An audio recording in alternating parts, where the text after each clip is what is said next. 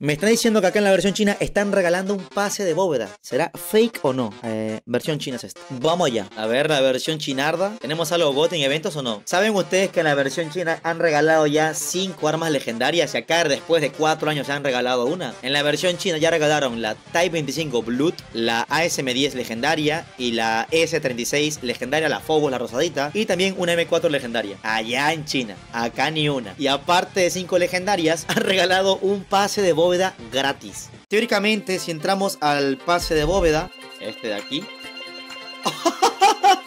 ¡Ey!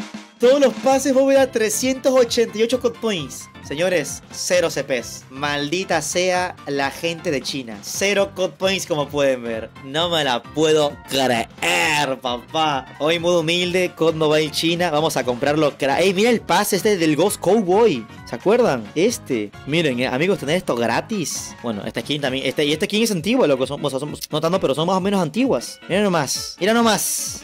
Mira nomás. No tienes para desbloquear. ¿Cómo que no? 0 code points a la una. A las dos.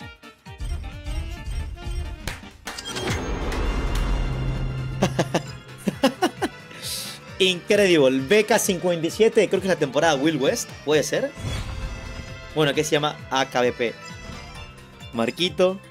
Dios. Ey, el China Goat. Fucking chinos Goat. Nada, pues GG's. Ahora nada más completarlo, muchacho. Nada más que completarlo y ya lo desbloqueamos completamente. Sale llegar al legendario. A ver, tengo una duda. ¿En China llegaron a leyenda o no? En China hay un par de sádicos, ¿eh? No son, no son tan sádicos como acá en la versión global. Pero mira, hay gente en Gran Maestro 5. Los DG, mira. Los eh, propios eh, competitivos chinos. Bueno, eso nomás. Entra a China para ver y si gente 100% real te regalan un pase de bóveda completamente gratis sin comprar nada, señores. Goat China, como siempre. Me acaba de invitar un chino. Tengo miedo.